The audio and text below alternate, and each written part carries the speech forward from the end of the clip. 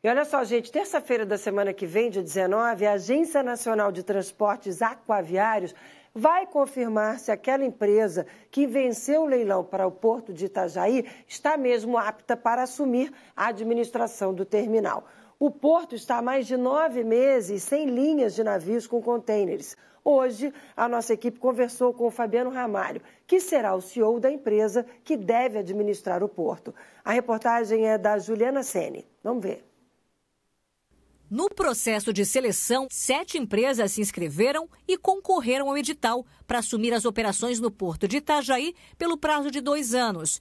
Na modalidade tipo leilão, quem oferecesse mais ganhava. A empresa MMS Empreendimentos foi a vencedora. Mas apesar disso, a empresa não foi anunciada como a nova operadora portuária.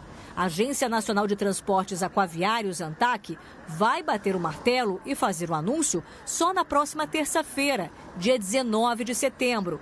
Depois de avaliar se a candidata vencedora está apta para assumir o contrato de arrendamento temporário. É, foi um pouco surpresa, até porque não é uma empresa conhecida, não é uma operadora portuária, não é uma empresa ligada a nenhum grande armador, grande player do mercado, por isso que nós ficamos bastante surpresos com os valores apresentados. Antes da assinatura do contrato, é, são analisadas todas as questões de viabilidade e documentação.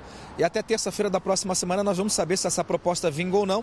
Caso não vingue, chama-se a segunda colocada. A proposta da empresa vencedora do leilão é ousada. Movimentar pouco mais de 66 mil TUs, que é a unidade do contêiner de 20 pés por mês. Para se ter uma ideia, isso seria três vezes a mais do que era movimentado aqui no terminal itajaiense.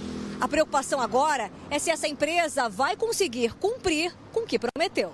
A MMS vai passar pela avaliação da ANTAC e, caso seja aprovada, a expectativa é que assuma o porto de Itajaí ainda neste ano. Durante os próximos dias, empresas que concorreram também vão poder recorrer dessa decisão, enquanto a agência avalia documentos e a viabilidade da ganhadora. E uma vez a sagrada vencedora, assim que o processo for concluído e o resultado for homologado, ela se vê na obrigação, como diz o edital, né, de constituir uma sociedade de propósito específico, essa sim com objeto social dedicado à exploração portuária. E essa empresa nova, essa sociedade de propósito específico, ela então vai ter no seu quadro de pessoal toda uma equipe técnica competente e com habilitação para atuar na operação portuária. Este professor e advogado em direito portuário explica que o edital não restringia empresas que fossem de outras áreas. Isso fez com que algumas concorrentes, como a própria vencedora, que não são ligadas à logística de portos, pudessem fazer propostas.